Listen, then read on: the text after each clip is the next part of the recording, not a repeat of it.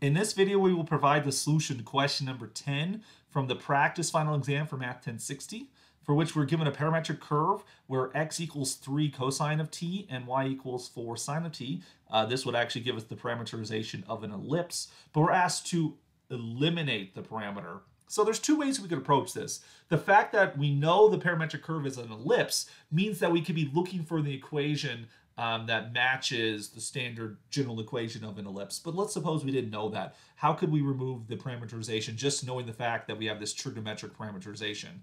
Well, the idea is to connect these together using some Pythagorean relationship. The idea here is that cosine squared of t plus sine squared of t is equal to 1.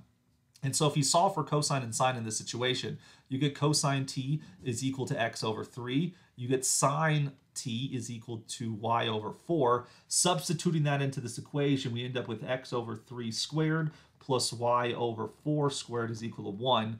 Um, squaring the denominators, we get x squared over 9 plus y squared over 16. This is equal to 1. And so this does give us, of course, the general or this gives us the equation of the ellipse, which is centered at the origin, which has a horizontal radius of 3, a vertical radius of 4. Uh, but again, without even understanding these equations of conic sections, we'll just use the Pythagorean equation to eliminate the parameter in the situation, from which case we then see that the correct answer would be choice B.